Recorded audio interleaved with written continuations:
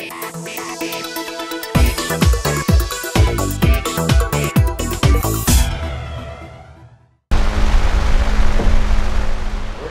just, uh, cutting the sheetrock above the water lines, you know.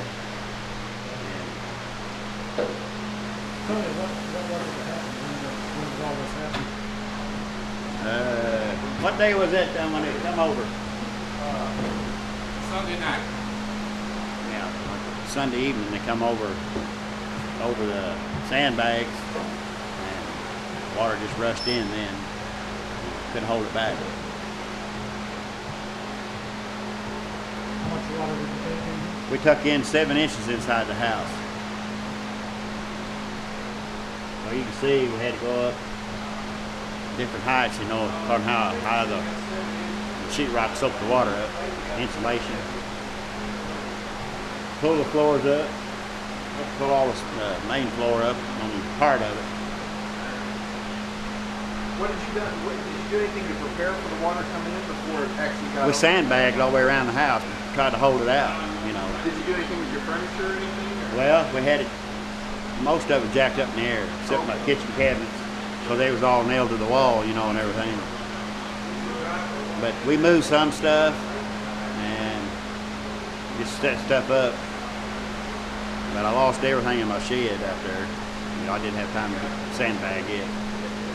What did you have out there? Freezer, air compressors.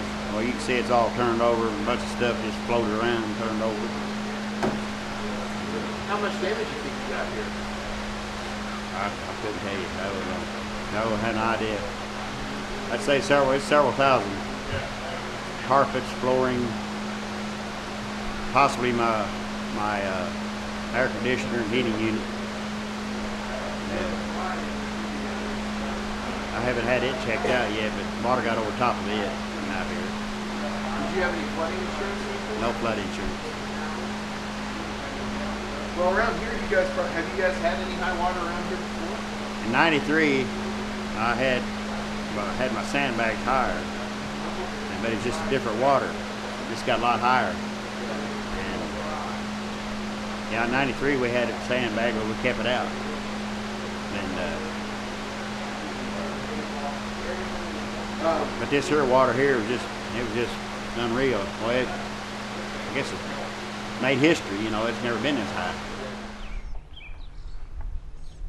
Uh, well, we got about uh, 12 inches of water on the first floor, so that's uh, all the subfloor and the drywall and air conditioning ducts and the air conditioner and everything in the garage. But uh, that's probably about it as far as just general cleanup, as far as damage is concerned. That's uh, just whatever a foot of water will do to the inside of your house.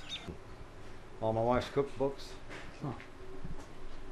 She's pretty brokenhearted about that. So it got up to about, oh, I can't really tell. You might be able to see it. It seemed like it got up to about here, out here in the garage. So that put about a foot in the house here.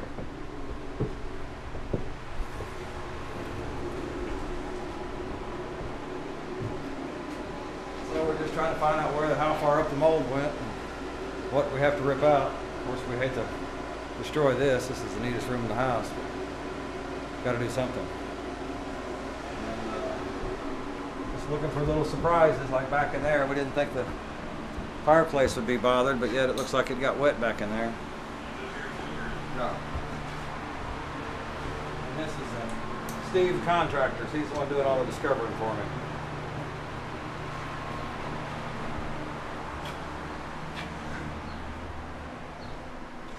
So that's uh it was a great place before. Really loved it. Wife had it decorated really nice. Just bought new furniture three weeks ago. Don't even have a week on it, but it's safe and sound in the back of a truck somewhere. It's normally supposed to be uh, kind of hard to describe, but uh, uh, the very end of that guy's dock is usually on dry land. So it's probably got another 10 to 12 feet to drop out there before it gets back to its normal banks. And this has always been the threat for years, and now it turned out it came from the other direction this time with the, the Ohio was so bad. The Mississippi is what affects us on this side and Ohio on that side. And when the two of them get together, we're just screwed. Nothing you can do.